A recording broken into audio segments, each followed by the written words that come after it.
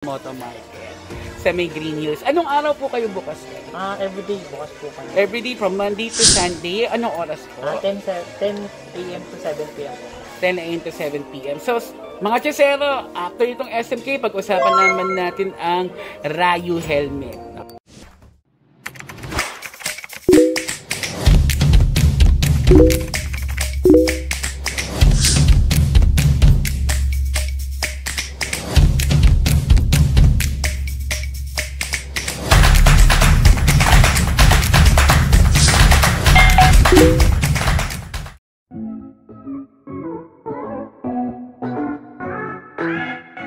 Sir Nico, pag-usapan naman natin yung isang helmet, ang Rayu. Okay? Ano po ba ang Rayu, sir? Ah, si Rayu, ah, origin niya is Taiwan. Taiwan? Ah, yung made niya is China. Origin niya is Taiwan, tapos ang made niya is China. Opo. Okay. So sir, itour nyo naman po kami kung magkakano po itong mga ah, Rayu. Pro- mag-start po tayo saan po ba? Dito sa Sa mga yan, sa mga adventure. Yung adventure type niya, nagre-range siya na yan, 3.5 yan, 3.5 Mura Yung siya. monocolor niya. Medyo mura siya, sir, ha? Opo. Ang Rayu. Mabenta rin po ba ang Rayu, sir? Yes po, mabenta rin po. Wow! Ang dami! Mga tesero. Oh, tapos yung presyo niya. Ayan. So sir, ibig sabihin si Rayo may, may ano rin siya, mga per category din siya. Ako per category din po siya. Like other brand namin, yan, meron din siyang iba-ibang type na helmet. Okay. So sir, after nitong mga adventure ng Rayo, ano pa po ang meron sa kanya? Ah, si Rayo, meron din mga modular. Wow! Yung modular namin. Ito yung modular. Magkano si modular? Ang modular namin, gawin siya na 3950. 3950. Tas, okay. So parang pansin ko sir no, parang pare-pareha siya ng presyo. Pero dito, medyo nagbago dito sir. Ah, po, naka-markdown po kasi. yung 4,200. original niya, 3950 talaga. Ah, okay. So, mark, so ibig sabihin naka-sale kayo. So ito, 3950 to. Okay, Ah, bali ito. yung item lang po. Ah, ah. Ito sir, no? 3750. Lahat to sir modular. Ah, yes po. Hanggang dito, dito, full face na po. Ito full face na to. So, ito yung mga modular.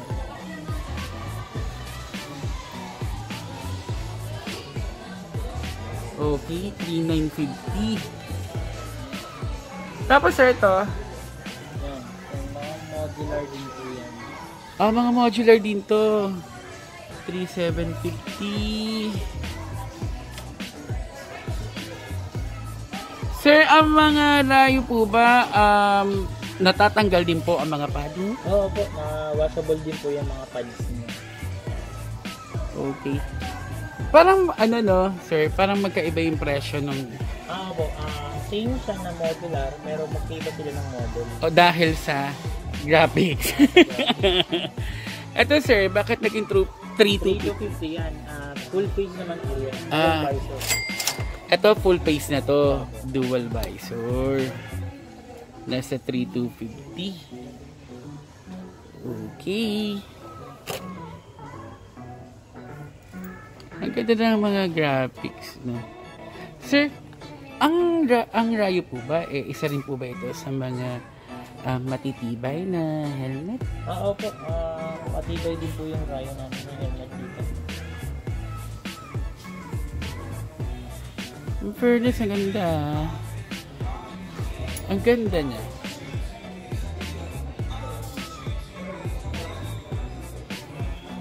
Wow. So, Sir Sirayo, may full face. Meron siyang adventure helmet. May modular helmet siya. Ah. At may half face. Oh, Yung half face, 2.8. Ang ganda ng mga half face ngayon na umaabot talaga hanggang baba. Ah. Ba? Yung iba kasing half face talagang half lang talaga. Yung dito lang. Pero ito talaga buo. So, Ang maganda ngayon, no, dahil may pandemic, so para safe ka at magagamit mo talaga yung mga helmet na hanggang ilalim ng baba. No, kapantay niya. 2.5. Ito 2.5. Ito 2.8.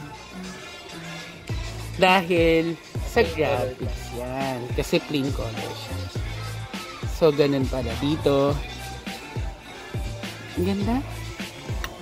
Labas nga natin. Uy, ang ganda oh. 2.8 naman.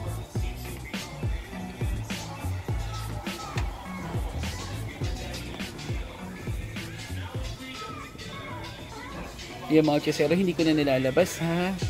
Kasi napakadami niya talaga. At ang dami natin pag-uusapan.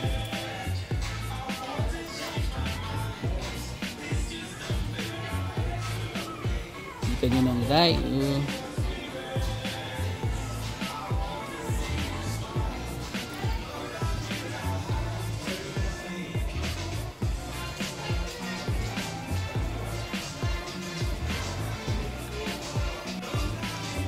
So ayan naman Josero, nakita nyo na yung mga um, rayo, kung ano yung mga graphics at kung magkakano siya. Dito lang din ulit yan sa Moto Market. Dito po sa Green Hills from Monday to Sunday, 10 a.m. to 7 p.m. Okay, Moto Market sa may naman po, ah, dito sa may Green Hills. At sir, next natin, ano pag-usapan natin na helmet naman? Ah, yung LS2 naman po. LS2 yung brand ko. Halika na, umpisa na natin. Okay? I-click nyo po yung end screen. Ayan po yun. Okay sir, ito naman po. Ang lalaki nito. Ilang mga liters na sir? Ah, ito sir, kaso na po yung full face dito. Ah, ito 36 liters. 5,750. 36 liters. 5,750. Okay. So, kasyang-kasya na po yung full face dito. At pang isang helmet lang. Ayan. Diyos ko, parang pwedeng pwede ko nang itago yung mga... and um, ang laki pala. Sobrang laki. So, ayan mga kusero ha. 5,750. Tapos, merong 8,000 pesos. Ang ganda.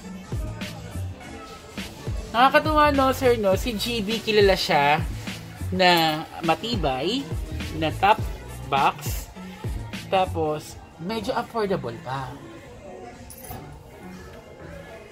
Diba?